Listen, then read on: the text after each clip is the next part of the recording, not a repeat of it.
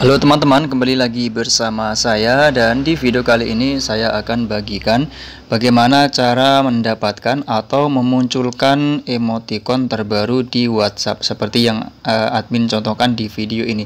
Nah, kalian bisa melihatnya itu adalah uh, beberapa emoticon terbaru ya teman-teman. Nah, buat kalian yang tidak menemukan emoticon ini di aplikasi WhatsApp milik kalian, Oke, cara untuk memunculkan atau e, mendapatkan emoticon ini cukup mudah ya teman-teman. Oke, saya akan kembalikan dari awal.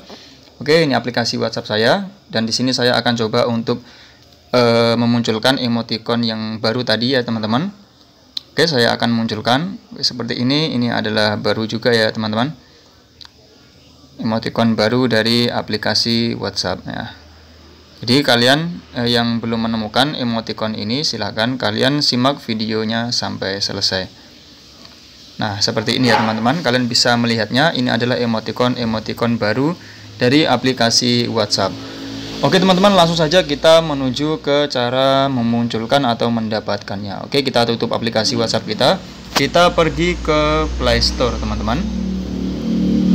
Baik setelah terbuka aplikasi Play Store-nya seperti ini, kemudian kita pilih bagian eh, kita cari untuk aplikasi WhatsApp.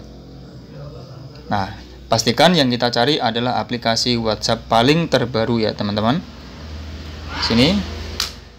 Oke, di sini e, cara untuk memunculkan emoticon tadi. Jadi, kita harus mengupdate aplikasi WhatsApp kita ke versi paling baru. Nah, di sini aplikasi WhatsApp saya sudah saya update. Jadi tadi muncul emoticon-emoticon barunya. Bagaimana eh, tanda atau ciri-ciri WhatsApp yang sudah diupdate dan yang belum? WhatsApp kalau sudah diupdate maka di sini tulisannya adalah buka.